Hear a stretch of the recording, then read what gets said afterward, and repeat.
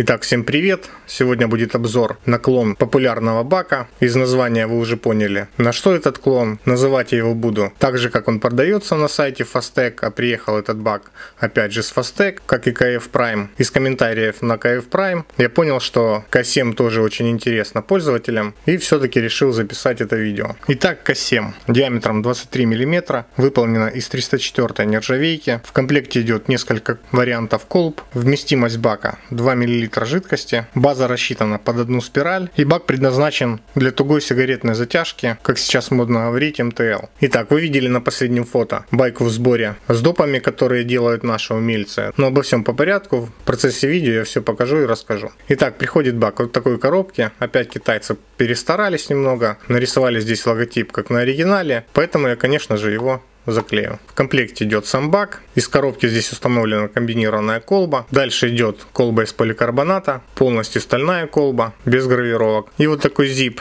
Здесь много орингов, сменные жиклеры с разным диаметром под воздуховод. И ключик для установки этих жиклеров. Винты, естественно, тоже есть. Теперь рассмотрим бак. Эпопея с выбором лучшего МТЛ бака пока у меня еще не закончилась. К7 была одним из претендентов на лидерство. И в принципе я ее могу отнести к лидерам. Как я и говорил, клон из 304 нержавейки. Как вы заметили, гравировок на самом баке тоже нету. И это хорошо. Вверху у нас 510 дриптип, принципе, его сразу можно в топку или на полку поставить и использовать какой-нибудь свой дриптип с меньшим диаметром воздуховода, потому что такой дриптип для тугой затяжки попросту не подходит. На куполе, как вы видите, есть такая насечка, чтобы было удобно считать обороты при открытии подачи жидкости. Конструктив, в принципе, вам уже знаком из обзоров на оригинал, поэтому особо я на нем задерживаться не буду. Цель видео это рассмотреть качество. В целом, по качеству претензий у меня не было. Есть одно небольшое замечание, его я покажу чуть позже. Все резьбы крутятся отлично. Единственное, что, конечно, можно пройтись нулевочкой, немного они острые,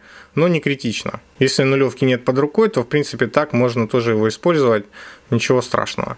Особо внимательные заметили, что здесь нет ринга, он здесь был, он перекочевал на кастомный топ-кэп покажу чуть позже. Есть один важный момент. Клоноделы немного даже улучшили этот бачок. Если вы помните, на оригинале нет вот этих насечек на кольце подачи воздуха. На клоне их сделали, и причем сделали это очень красиво и уместно. Здесь это подходит и по стилю, и добавляет удобства. Пальцы теперь не скользят, и выставлять обдув гораздо комфортнее, чем на оригинале. Во всем остальном бак полностью копирует оригинал, никаких изменений конструктиве здесь нет. Как вы слышите, резьбы все ходят отлично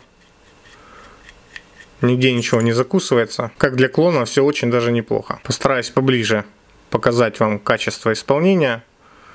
Ну, вот вы видите, здесь, конечно, не совсем гладкие резьбы, но тем не менее они не закусываются и все нормально откручивается и закручивается.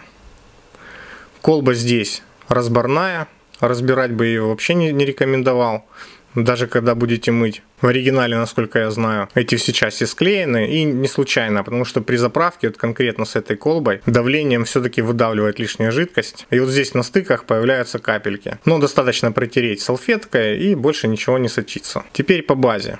Как вы видите, выполнено все тоже очень неплохо. Сейчас у меня установлен жиклер на 1,2 мм. В комплекте он не идет, докупался он отдельно.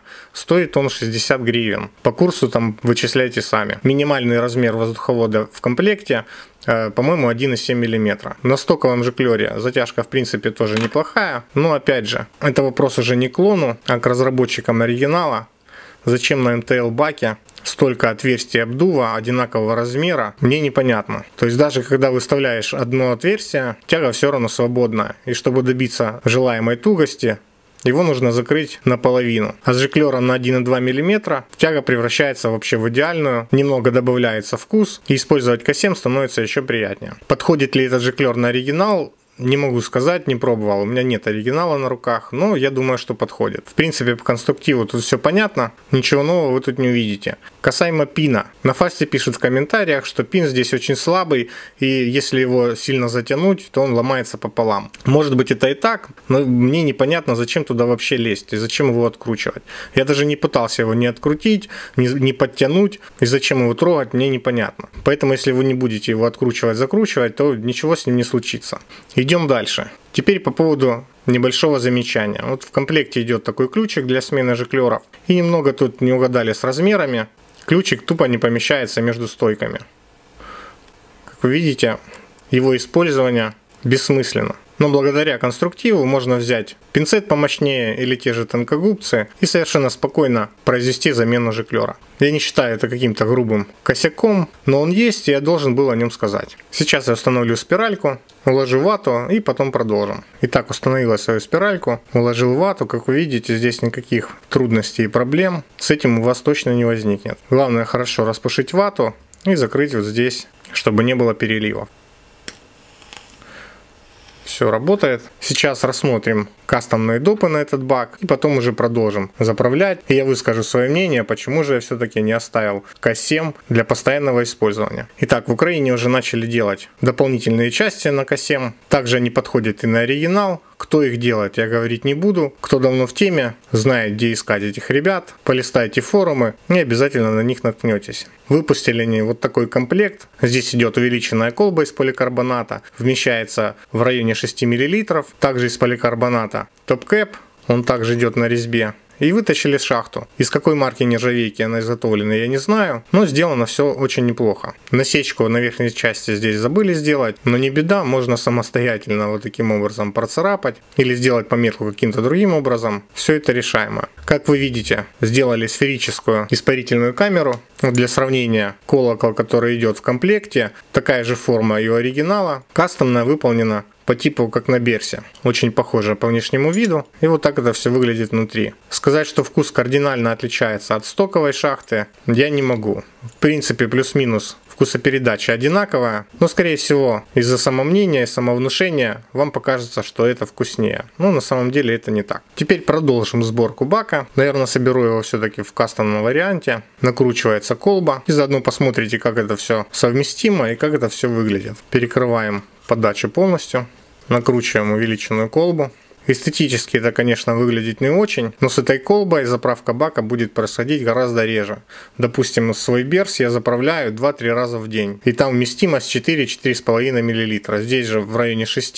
То есть вы представляете, что раз, ну максимум 2 раза в день вы будете его заправлять. А из-за конструктива данного бака количество заправок в день очень важно. Ну, как для меня. Именно из-за неудобной заправки я не оставил себе этот бак в постоянное пользование. Зальем сюда табачку и закручиваем крышку. И вот в этом вся беда К7, да и в принципе оригинала. Что меня очень сильно бесит в этом баке, это его заправка. Делать этого вообще неудобно и требует определенных навыков и привыкания. Получается резьба на куполе и на топкэпе в одну сторону.